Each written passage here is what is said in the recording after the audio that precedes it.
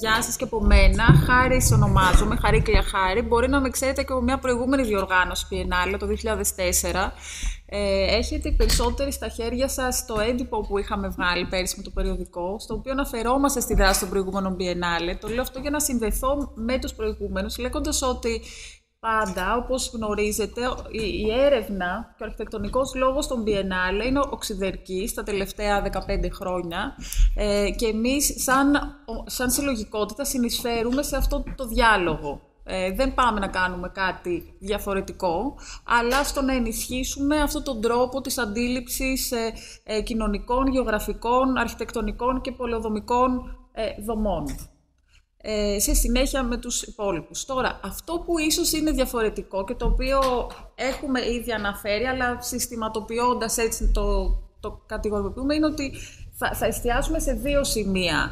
Ε, το ένα σημείο που πιθανόν είναι διαφορετικό ε, από τις προηγούμενες διοργανώσεις είναι ότι ο Επίτροπος είναι ο Σύλλογος. Ε, και αυτό για μας είναι πολύ σημαντικό σαν εγχείρημα, το ότι υπάρχει ένας μικρός θεσμός, ε, ο Σύλλογος Αρχιτεκτόνων, ο οποίος έχει αυτό τον ρόλο φέτος.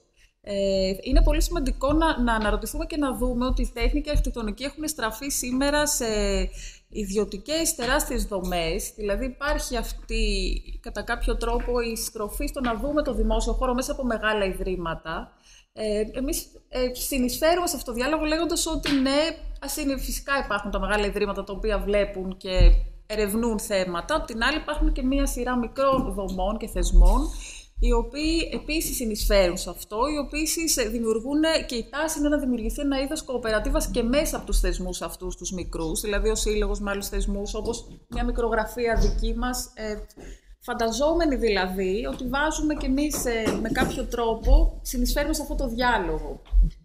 Ένα δεύτερο σημείο, πολύ έτσι, ε, ε, που πιστεύουμε ότι πετυχαίνουμε επιμελητικά πια σε αυτή τη διοργάνωση, είναι ότι πάμε ένα βήμα, είναι πολύ φιλόδοξο αυτό που θα πούμε, αλλά προχωράμε λίγο το θέμα του relational aesthetics ένα βήμα μπροστά. Δηλαδή, αν μιλήσουμε για σχεσιακές δομές και για αυτό που επιμελητικά τα τελευταία χρόνια στην τέχνη κυρίως ονομάζουμε relational aesthetics, Παρατηρώντας το εγχείρημα της Biennale και αναλύοντας λίγο έτσι πιο προσεκτικά το τι κάνουμε επιμελητικά εδώ, θα παρατηρήσουμε ότι όχι μόνο τα έργα, ε, τα επιμέρους προκύπτουν και είναι διαδικασίες σχεσιακές στα ίδια τα έργα που παρουσιάζουμε, αλλά ότι και η ίδια η δομή είναι σχεσιακή και προκύπτει μέσα από τη συνέλευση. Η συνέλευση έχει αναφερθεί πάρα πολλές φορές από όλους μας ε, και δεν είναι τυχαίο ότι επιμένουμε σε αυτό ε, και ως τρόπο συνύπαρξης και ως τρόπο δομής μιας διαδικασίας.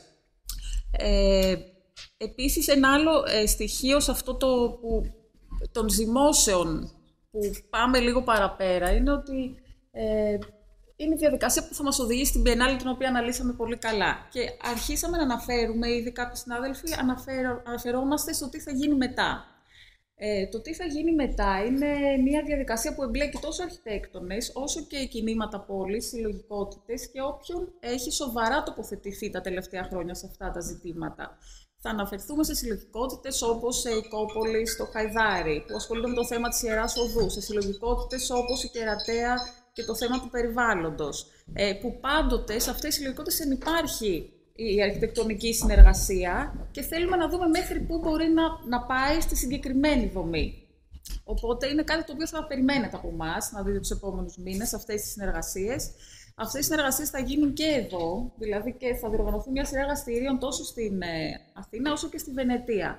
Ε, Όπως αναφερθήκαμε πριν, θα εναρμονιστούμε με το πρόγραμμα το συνολικό της Biennale του Αραβένα, ο οποίος κάθε μήνα οργανώνει εκδηλώσεις σχετικές. Τώρα αυτό έχει να κάνει με το οικονομικό μας, δηλαδή αν θα καταφέρουμε και η συχνότητα είναι καθαρά θέμα ε, πώς θα το καταφέρουμε. Υπάρχει η δυναμική, υπάρχει όλη η διαθεσιμότητα πολλών ανθρώπων. Ένα από τα βασικά ζητήματα τα οποία θα εστιάσουμε και εστιάζουμε παρότι το έχει φέρει μία ομάδα συγκεκριμένη, θα εστιάσουμε και όλοι μας, είναι το θέμα του ελληνικού. Ε, ε, στο κομμάτι δηλαδή το, της ε, κρίσης γης, του προσφυγικού, θέτουμε δηλαδή στο ελληνικό μία σειρά ζητημάτων, τα οποία όλα εκεί εντοπίζονται, άρα θα γίνει ένα εργαστήριο στο οποίο θα σας καλέσουμε, ε, το οποίο οργανώνει η ομάδα που έχει φέρει το θέμα της πρωτοβουλίας κατοίκων του ελληνικού και στο οποίο θα συμμετέχουμε προσπαθώντας να δώσουμε και εμείς μια απάντηση στο τι θα μπορούσε να γίνει σε εκείνο τον τόπο.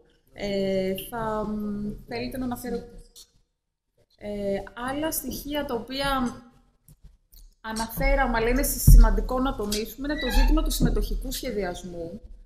Ε, όταν δηλαδή αναφερόμαστε ότι υπάρχουν συλλογικότητες, υπάρχουν κινήματα πόλης, υπάρχουν κάτοικοι οι οποίοι επιπλέον θα είναι σε αυτή τη διαδικασία κοντά μας, αυτό γίνεται μέσα από ζυμώσεις σχεδιαστικές. Δηλαδή θα είναι η αρχιτεκτονική και τα σχεδιαστικά εργαλεία μας τα οποία θα φέρουν, θα καλέσουν και θα συνεργαστούμε με αυτούς μέσα από διαδικασίες συμμετοχικού σχεδιασμού.